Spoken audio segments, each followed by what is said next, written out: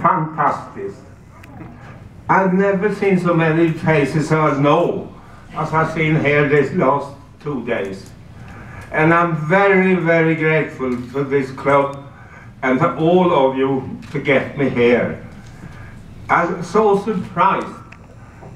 So many people I remember. Nice people, all of you, even Phil. I know better, that's okay. And uh, I didn't have any idea of Mrs. was there.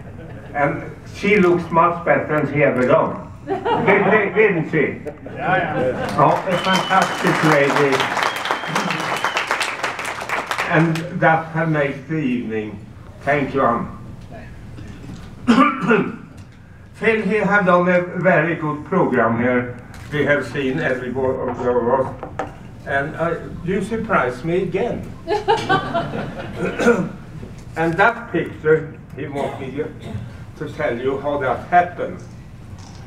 This was a company in Sweden for soft drinks, and they had a long series started just after the war. And every summer they have some picture, people camping and everything, and sportsmen, and Ronnie Peterson on the Formula One and all that. And uh, the, well, it was my turn in the end. And they want to do something on Karlsson on the roof.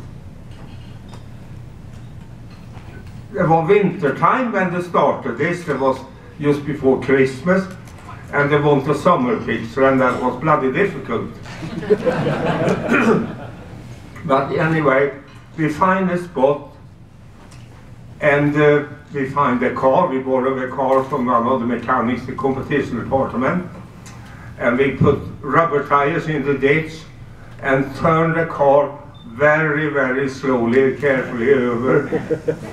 no damage, and there it was in the ditch with number on. And you see the sump guard is also there. Everything was done very properly.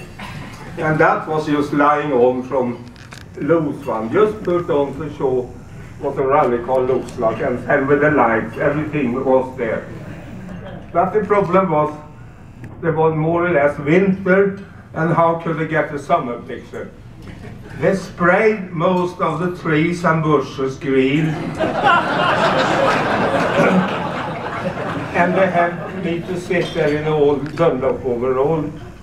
And they were not happy with the hair either, so they put a bit of loose hair on top here. that, that's why you don't recognize me. And we, this was done, and uh, I think we took a couple of hundred pictures of that. And uh, in the end, they were finished. And for that thing, I got three Pommac drinks for a year. and I can tell you, I have never touched the bottle again. but there was not, I'm very pleased to be here. And I say again, I can't understand how so many nice people turn up in one place. Thank you very, very, very much we got here. And Britt-Marie, you met her, she also very pleased with that. And she is not my girlfriend. I, I will stop all the rumors. She's not my girlfriend.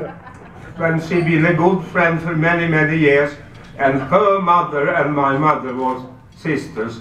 So now you know that. You don't have to start any rumors. but she's a nice girl. Thank you, thank you, and I'll be pleased to be with you all now a couple more days.